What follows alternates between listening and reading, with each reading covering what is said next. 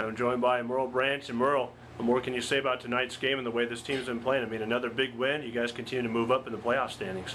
I mean, the seniors, like coaches preach about it every day. The seniors got to step up, and I've been letting the seniors know that it's their team and they have to step up. So that's what they've been doing. And um, TJ sent us a text. I don't know if you know, but his friend died, and he just wanted us to play hard and get a win. So we pretty much played for TJ. So.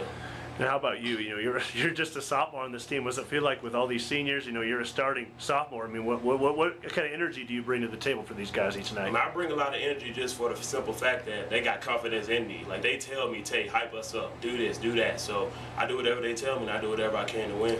And what do you feel for you is like a good game? I mean, tonight you, you did everything. You know, you had good defense, you, you led the team in assists, and you did a good job picking up rebounds and points. That's kind of pretty much your game, night in, night out. Mhm.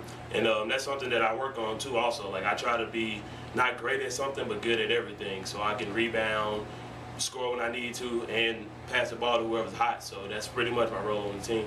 Last thing, too, what's going to be the key for this team to keep rolling with four games left in the regular season? I mean, we just got to stay hungry. I mean, like like like I said, it's up to the seniors. Like if, if the seniors excited, we all excited. So as long as they keep being hungry, we'll follow right behind them.